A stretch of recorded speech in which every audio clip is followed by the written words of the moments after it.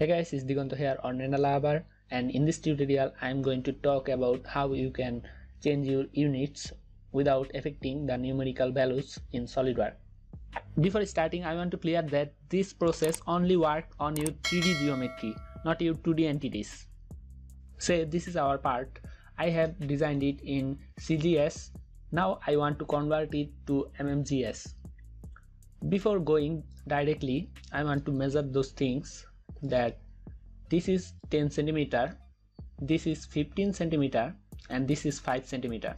If I go directly then this will be 50 millimeter and everything will be multiplied by 10 so the solution is very simple. You just have to go to mold tool. If you don't find mold tool then right click and select the mold tool. And from here we will go to scale or you can go from command menu and type down scale or you can go to insert and molds and from here choose the scale from here we will select the part and make sure it is centroid now comes to our scale factor you just have to know the relation between the certain design units and the future design unit that you are willing to go. As my certain design is in CGS and I want to go to MMGS so the scale factor is going to be 0.1 1 millimeter is equal to 0.1 centimeter so I am going to multiply it with 0.1 and then click OK. As I do you see our size has decreased and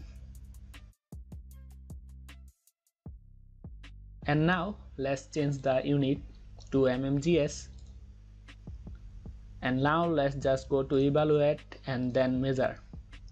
If I click here you see this is 10 millimeter. Previously it was 10 centimeter. And this one is 15 millimeter and this one is 5 millimeter.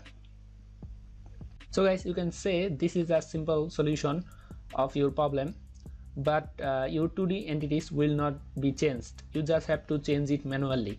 But your 3d geometry all the numerical value will be same as before. So guys i hope this solution helps you. And if it does comment below and give this a like and then share with your friends. Until next time stay connected and see you soon. Bye